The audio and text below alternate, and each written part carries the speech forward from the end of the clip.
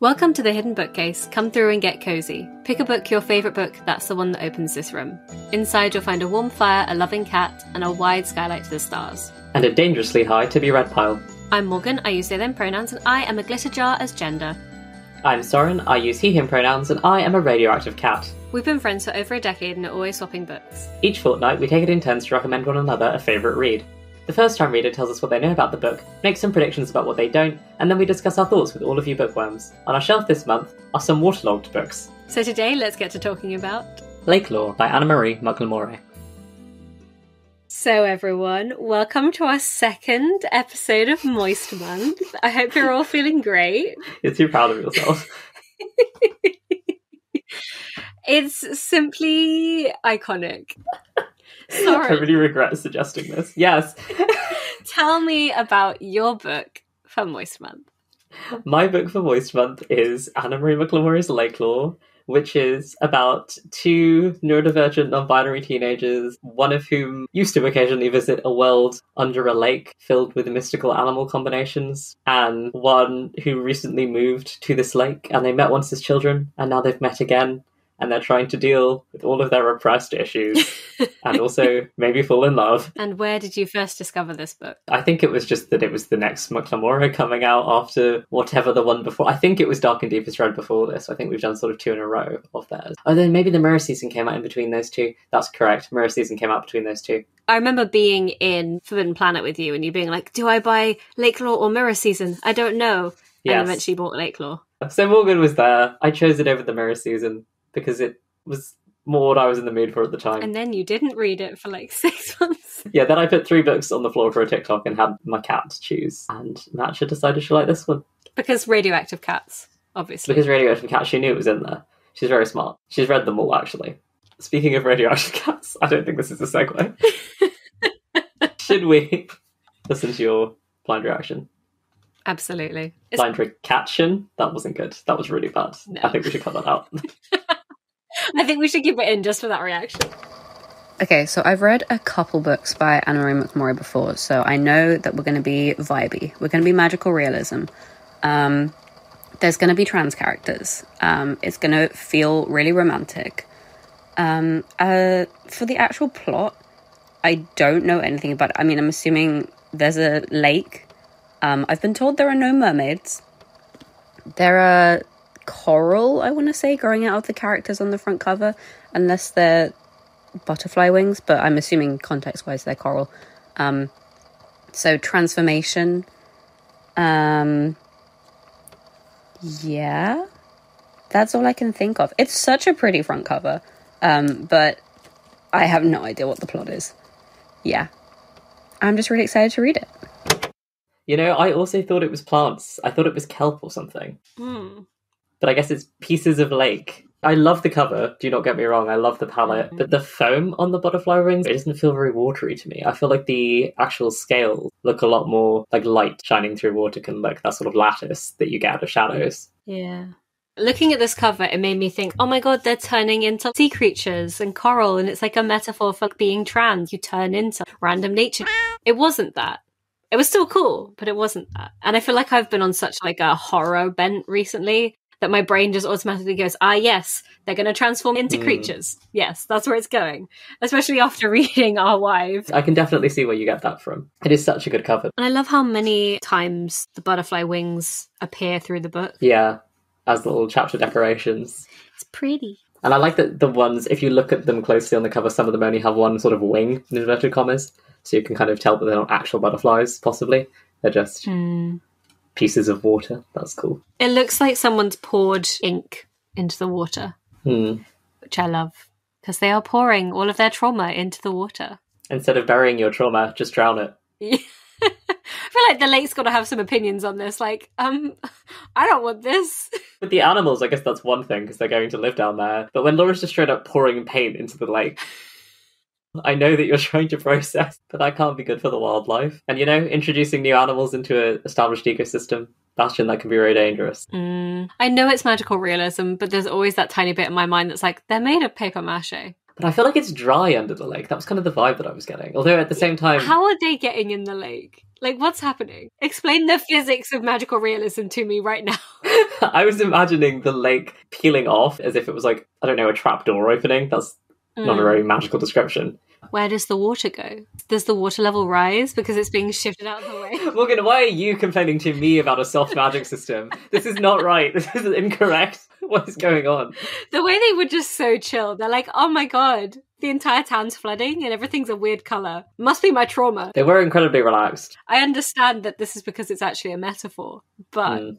I feel like you'd be a bit more like, what the f- just happened? Bastion, maybe not, because they've been doing this for a long time. But At the beginning, Bastion's like, yeah, I tell everybody and try to explain to them, and they could never find it. I feel like the adults around them would have been a little bit more concerned as they kept talking about it. I don't know, because if they're a little kid, imaginary friends and stuff get written off all the time. Yeah, but the older you get, Yeah, but how long did they keep trying? Because how old are they when they meet? nine, Had they not already given up by the time Lore got in? mm, yeah, Because I think they were surprised that it opened for Lore. They could have been seven or eight when they stopped. but still, remarkably chill vibes. No, I think Lore should have been a bit more freaked out because this happened to you when you were like nine years old on a field trip. Would you not kind of think that maybe you imagined it? Just opening up a book and being like, why are you blue? Very much, this might as well happen. Yeah, I understand it's because that's how magical realism works, and you just have to Mm. roll with the metaphor, and Yeah, there's no do. time to like start freaking out. So, what else was in your blind? I said it was going to feel romantic. I didn't want to say there's going to be romance. Yeah. Because I think there's a difference between it's going to feel romantic and there'll be romance. And the way that McLemore writes, it sort of romanticizes people and relationships, but in a very sort of realistic way. It's very soft. Yeah, every time you read a book, you go in knowing that everything's going to be okay and that it's basically telling you you're going to be fine. The characters are going to be fine. Thinking back to When the Moon Was Ours, that was also magical realism. And it was also very much, we're here for the vibes. And there's a rose growing out of this character's wrist, and you just have to go with that. don't ask questions. We don't have time. it just felt very soft the way the two characters interacted at all times. They were just very gentle with each other and very sort of healing to each other. That's what their writing style is, especially when it comes to relationships. It's very much we are both very broken people and we're going to learn to heal together and be our own people and heal separately and then heal together. Yeah, I think that's kind of their brand. Here with Lore being like, I'm not interested in you that way, and Bastion being fine with it. All of the characters feel like friends first. It's not mm. necessarily this big dramatic falling in love at first sight thing. The romance feels, I don't want to say incidental because that's not the right word, but complementary, I guess, to the friendship, which usually blossoms first. Yeah. I wonder if that's why they do so many childhood friends to lovers. It feels a little bit like the same characters falling in love over and over again in different worlds, which I kind of love. Hmm. It doesn't become predictable. It's just like, oh, I get to see them fall in love again. Let's see how. A bit like cracking open an alternate universe fanfic. exactly. And I feel like it's probably quite influenced by the author's own life. I think in the author's notes of When the Moon Was Ours, they said that that couple was inspired by their relationship. I wouldn't be surprised if that's continually true. And I don't know if you read the author's notes for this one, I skimmed them, which, you know, we're getting better than the last time because last time I just didn't even bother. because McLemore talks about having both ADHD and dyslexia. You can tell that this is semi-biographical. Yeah, I could very much tell that this was quite autobiographical, especially the ADHD one. I was like, oh, yep, let's not unpack that right now. The first time I read this, Bastion said something really specific about their experience with ADHD, and I was like, "Oh my gosh, I didn't know that that was also a symptom of ADHD." Hmm, that's, that's sitting really close to home, and then I forgot it. Amazing. No official diagnosis, but can definitely relate to the everything about Bastion, so that's fun. Yep. But I like how it discusses how neurodivergence intersects with things like a trans identity, or Mm. just with being raised female.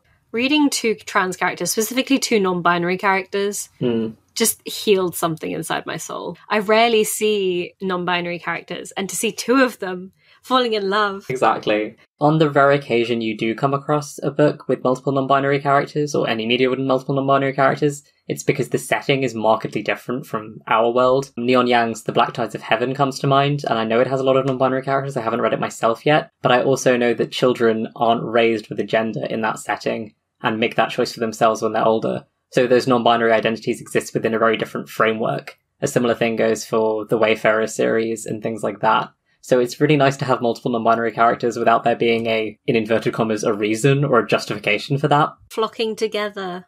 congealing like water molecules. Yes. How do we feel about the writing style? It's vibey. It's typical McLemore fare, but that's a compliment. Yes. Very descriptive, very emotionally intelligent, says what it wants to say in very easy to read terms. It's very accessible. It feels very YA, but in like a very good way. They're very good at unique descriptions without leaning into erudite language or concepts that their audience isn't going to understand. And it's very good at not introducing you to the concepts of ADHD and dyslexia, but giving you understandings of them in a really nice, sort of organic way. Yeah, it doesn't feel like it's all that the characters are, despite it being sort of their main conflict, arguably, in this novel which is nice because I think you could easily boil them down to that, especially in such like a short novel. It was like a little bit info dumpy, but I didn't mind Mm. it because the whole point of the story was exploring these characters' identities Yeah, and how they experience these things.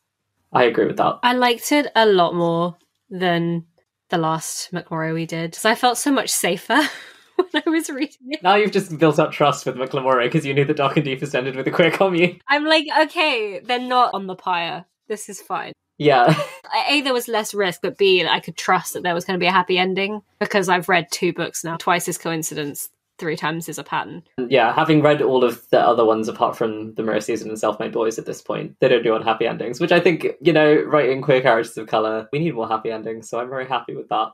Yeah. I thought this was a funny one to read directly after Our Wives Under the Sea, just because some of the horror elements, I mean, like, it's not horror, but you know what I mean? There's something about the moments when they're all alone in the house and they're hearing laughter in the walls and everything's these lurid colours that almost feels like Mm. horror. I would actually love to read a genre bent version of this book, which leaned into the horror elements that could have Mm. been there. The way that it's written, they don't really give you the option to see it as horror because they're like, don't worry, this is all for their betterment as characters. I would love to see a version where the characters are being haunted, drowning in their dreams. Everything's weird colors and it's very overwhelming and overseen. I would love to read that. I think you would have to end up with a longer novel if you wanted to get them back to the same place of acceptance. Because the problem here is that it very much represents all of their sort of repressed, in inverted commas, failings. So you would need time for them to build up acceptance to it and realize that it wasn't as horrifying as it first appeared. But I'm with you on that. I think if it had been longer and it had been scarier at the beginning for them, and that might have supported the themes better. I love the idea of like an eldritch lake entity being like, I'm going to teach you to accept your problems, but not understanding that that's terrifying. It's a terrible method of doing so. They're like, isn't this pretty? And they're like, oh my god, I'm going to drown. Where are my parents? oh, I love that so much. Who is your favorite character? I feel like with this, it's very much between Sebastian and Lore because they're kind of the only two characters in the book, which I'm not saying is a criticism. I like that. Mm. It's revolving around the two of them and their connection. I feel like all their books are very closed cast, but I kind of love that. It's very sort of like intimate. Yeah, I can't choose between my children though. I'm struggling. I don't know. Sebastian is very relatable to me personally, just in the way that their brain works. But I like how weird Lore is, and I feel like Lore is more themselves a lot of the time, despite repressing certain things. I just love them. I like them just dropping trivia on Bastion in the middle of a random conversation for no reason. I love how many times Bastion's like, How did we get here in the conversation? Like, Bestie, you do this too. What about you though? I feel like it has to be Lore. Bastion's struggle with ADHD, something I feel a lot, like I'm undiagnosed, but oh boy, oh boy. There are so many things in their experience when I'm like, oh, I thought that was a different disorder that I was trying to get diagnosed for, but maybe it's all just the ADHD. That's cool. Mm. That's great to know. Thanks. I think Lore, they have a more similar connection to me in terms of their non binary experience. Mm, I most of the time present femme in Yeah. in real life, and I know for a fact that I am perceived almost universally as a woman. Reading a character who does sometimes present that way, and that sort of rage, understanding that it's never going to go away, and that most people aren't going to check, yeah, but that sort of slowly building like i am so sick of this it itched that little bit in my soul that just dies a little bit inside every time i'm at work and i get misgendered so yeah. yeah so i really liked seeing that because as well i feel like so many non-binary characters in media have to either be completely androgynous you don't Mm. ever get characters who feel comfortable in their assigned at birth gender expression Yeah. It's always that they've sprinted to the opposite direction as far as they can. You know, if you're AFAB, you have to present masculine, and if you're AMAB, you have to present feminine. It's nice to see a character who feels comfortable, you know, wearing lipstick. And also, just the rage. I loved their rage so much. It's like, yeah, I want to punch someone in the face too. I mean, I know we were deconstructing the fact that, like, maybe that wasn't the best course of action, but also, like, maybe it was. I mean, I feel like at the end of the novel, it's kind of like, ah, nah, he deserved it. You were standing up for yourself. Yeah, it was really satisfying, to be Yeah. honest. and they're out here being like, this is terrible. I'm a terrible person. And I'm like, nah, man, Are you though? Exactly. I support you. I think it's nice to see from a young adult novel because I feel like it could go the patronizing way of like violence is never the answer. And it's like when structural oppression is in play and the system will not help you, sometimes you have to defend yourself, actually. hmm It's nice to see that. It's quite cathartic. Yeah. Lore's gender stuff also kind of vaguely reminded me of you the first time I read this. But obviously, I'm not you, so I don't know how you perceive your own gender, etc. Because it's weird, because, like, there's masculine days and there's feminine days. And that's really weird that you wake up and you've got to give yourself a gender forecast. And sometimes the gender forecast changes halfway through the day and you're like, ah, beans. Mm, hmm I don't like this anymore.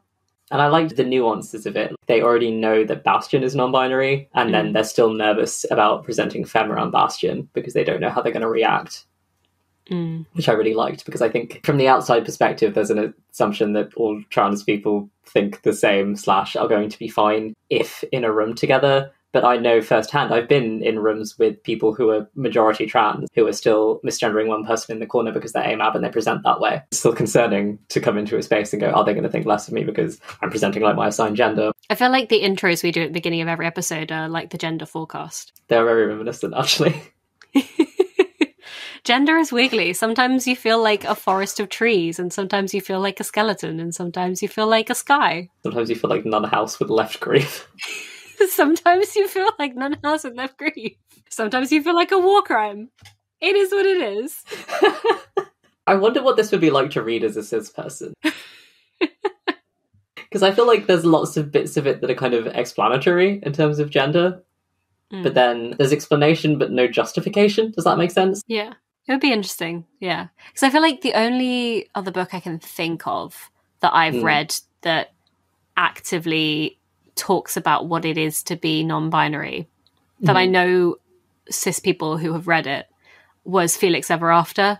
Yeah. So I think it would be interesting to watch a cis person read this and be like, your gender is a sky full of stars? Could you elaborate? Exactly. To both of us, we're like, yeah, of course. I have no further question. I did like that being included because I think that sort of thing is so malign. Years ago on Tumblr, the whole otherkin thing with people identifying as things like star gender or cat gender, which people still do, and I'm not trying to say it like it's a phase or something because I know that that's how some people choose to describe their identity. But I like that it's not made fun of here. It's just Yeah. People just sort of call it cringe a lot and stuff, which is just mean. Come on, guys. Do people not understand metaphor? Yeah, it kind of does give that vibe, doesn't it? If someone's like, I'm star gender, and it's like, ha, that kid literally thinks that they're a star and that star is a gender. I feel like you're the same kind of person that just goes, oh, well, the curtains are blue just because. And actually, I've never listened to anything in my English literature class. Maybe, maybe the same kind of person. Also, considering the amount of things that cis people randomly decide to gender, Exactly. cis people have a very defined set of pictures sometimes for what gender is, and it will be like a lawnmower and a gun. I was also thinking gun, which is horrifying. Considering all of that, it's just giving Yeah. us more words to say the thing. That's what metaphors are. Precisely. It does make sense that McLemore would be good at it, given how association based their writing is. Yeah. I think they should just tweet their daily gender forecast, actually, just so I can see it, because I think it would be good. Yeah. I just want to know. Morgan, you're the person that read Lakelore for the first time, so you have to answer first. What are your final thoughts? Very vibey, incredible vibes, vibes over the top. I really enjoyed it. It was an easy read in the terms of my brain, Yeah, um, which, considering I was very ill at the time, I enjoyed a lot. that was a good choice then, accidentally. yeah. And it just made me feel very warm and held like a hug. Five out of five. What about you, Soren? I really love this, obviously, because I was like, I want to talk to Morgan about it. it's really nice. It's McLemore's beautiful writing style. It shines through. It's some very good character development in a short space of time. I think if I had one niggle, it would be that occasionally the very short chapters, combined with the fact that they're all in first person, very occasionally made me go, "Who's talking?" Yeah. Until I realised who was talking. I know the name was right there, but I do you think I read the name? So and maybe if it was just in third, but then also it's very confessional. So I think the first person works very well. Mm. But I think if their voices had been slightly more different, it would have been absolute perfection for me. So for that reason, it's like an extremely high four.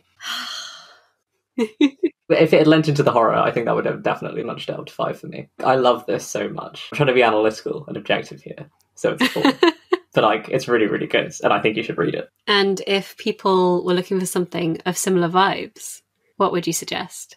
I have a rogue suggestion. Please start us off. So, first of all, you should listen to Midst, the podcast, for incredible vibes. I'm going to suggest The Raven Boys Oh, no, I know what you mean. by Maggie Stiefvater hmm hmm because it's very magical realism and metaphor as healing and coming to terms with your own identity. But also, it has something we didn't discuss about the book, but that sort of liminal feeling of Mm. summer, Yeah, specifically the time before you go to school. They have very similar vibes in that everything sort of aligns and feels the same. And you go through whole character journeys in that summer, but it feels very unreal. So that's my rogue hot take. So what I will say, definitely read more of McLemore's work because they have a very consistent tone and style. And if you like it, I think it will continue to like it. And the one I'm going to recommend I haven't read in a while, but I do remember really absolutely loving it. I have rated it five stars on Goodreads, which is rare for me, so I don't know how I would rate it if I reread it. But Aristotle and Dante discover the secrets of the universe, which there's also a sequel recently, which I have not read, but it also has that sort of strange liminal summer setting it also features water very heavily and links swimming to queerness, I guess. I don't really know how to put that. I see that actually. And then also a Latin American author who is queer, writing about queer characters. But that is contemporary and has no fantasy elements. so I have to warn people of that on this show because we are a science fiction fantasy show. Yeah. I might also quickly toss out Ocean at the End of the Lane. yes. Oh my god. Yes, yes, yes, yes. That has a similar vibe. Neil Gaiman, magical realism, water, adjusting to a major change in your life. Magic as metaphor. Yeah, exactly. And then weirdly, the other one that I was thinking of actually, I'll just say it now, Peter Darling, which we've already done on the show. Ooh, hoo, hoo. But there's just something about it. I think it's about that thing of finding connection, especially with one of the characters being trans, and showing those parts of yourself that you don't like to somebody else and being accepted anyway. Yeah. It just feels reminiscent. And we have a whole episode on that one. So you can go listen to it if you read it, or you can listen to it without reading it. I'm not your dad. For July, we are going to be reading books for Disability Pride Month, and I'm starting us off this time with Godkiller by Hannah Kaner, which I'm so excited for Morgan to read, and I know Morgan has been waiting to read this because they pre-ordered a copy, and it's been months. I am sorry, but we've got to it now. Yeah. Finally. And we will also be having a guest for this episode. One of my friends, India from India Reads a Lot. Very exciting. She's also been very excited. Ever since she found out about the podcast, she's like, I want I want a guest.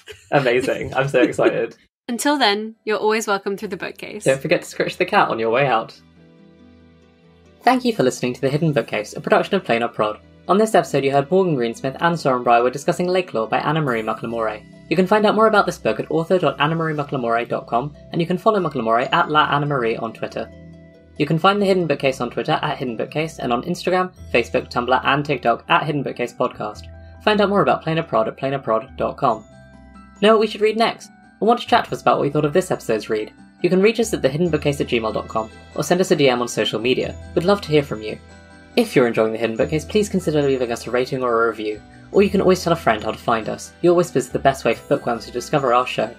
July is Disability Pride Month. On our next episode, which will be out on Monday, July the 3rd, we'll be discussing Godkiller by Hannah Kaner, along with India from India Reads a Lot.